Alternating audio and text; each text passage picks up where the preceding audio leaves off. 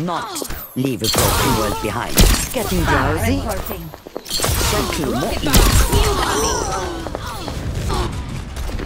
A better world is possible today.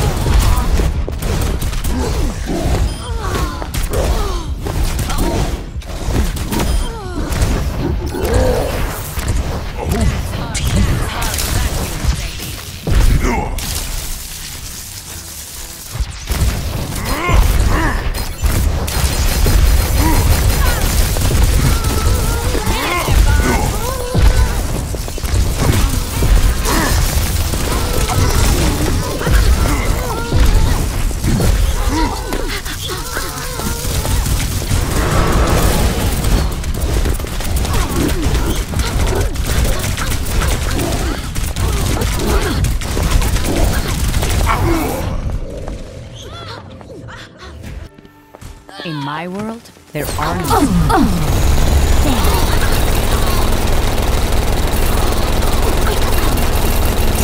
Crusaders!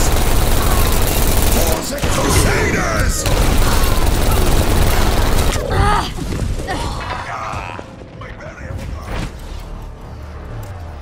Defeat.